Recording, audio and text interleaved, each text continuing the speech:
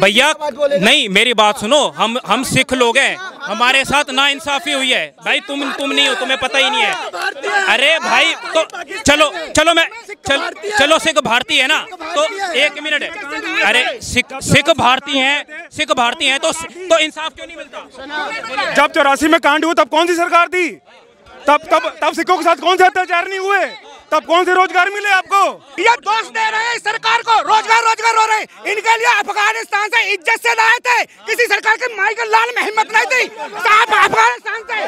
ये तो मोदी में दम था। एक एक मोदी जी ने रोज़गार कहा दिया ये व्हाइट शर्ट पैंट पहन रखा है।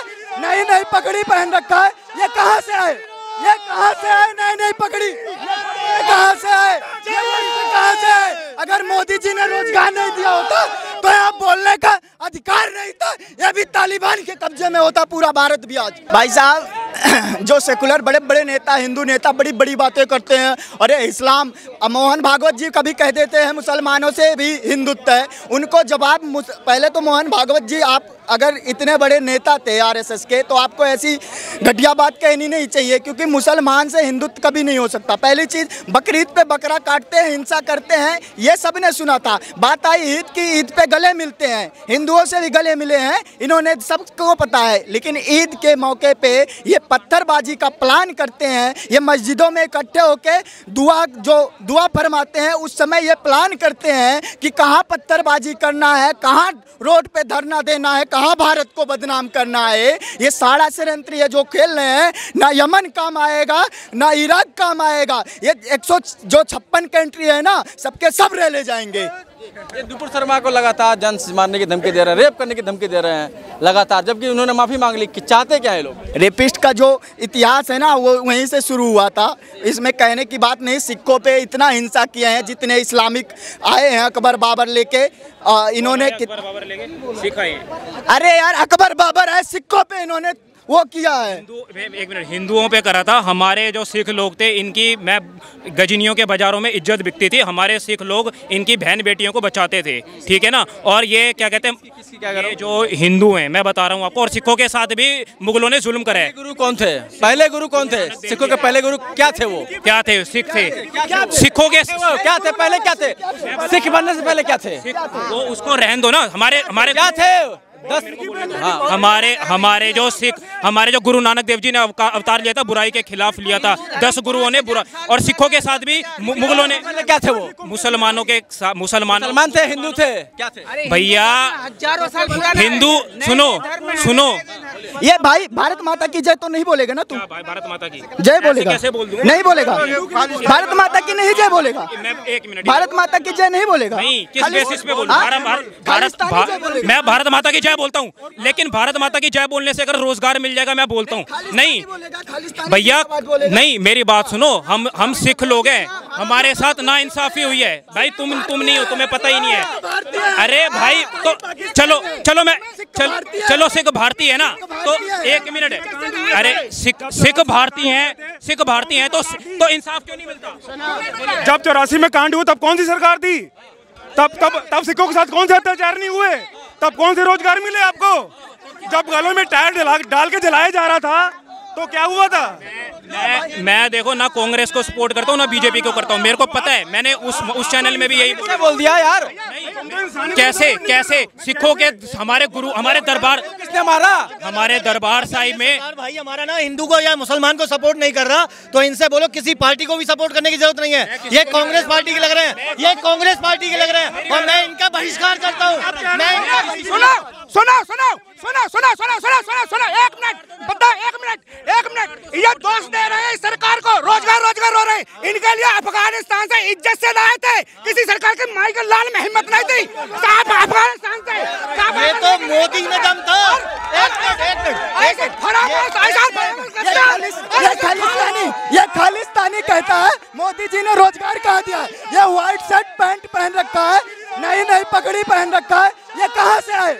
ये कहाँ से आए? नई नई पकड़ी। ये कहाँ से आए? कहाँ से आए? अगर मोदी जी ने रोज़गार नहीं दिया होता तो यहाँ बोलने का अधिकार नहीं था। ये भी तालिबान के कब्जे में होता पूरा भारत भी आज। ये तो योगी में और मोदी में दमता तो हिंदुत्व को बचा के रखा हुआ है, भारत को बचा के रखा हुआ है। वरना कोई कांग्रेस कांग्रेस कांग्रेस होती ना तो आधा हिंदुस्तान तो वैसे ही कोरोना में ही खत्म हो गया होता। ये तो हिंदुस्तान मोदी में दम था। ये बताइए ये बताइए केवल जुम्मे को पत्थरबाजी होती है शनिवार क्योंकि ये कहीं- ये- रविवार क्यों नहीं होती? ये इनकी सोची समझी साजिश होती है और ऊपर से पॉलिटिशियन का सपोर्ट होता है। उनको पता था जुम्मे की नमाज़ होगी डेढ़ बजे की उसके बाद एक्शन लेना है जो भी करना है। ठीक है? आज एक मिनट मैं यूपी लखनऊ से हूँ। मैं मेरे भाई यूपी लखनऊ से दिल्ली में रहता हूँ लाजपत नगर में।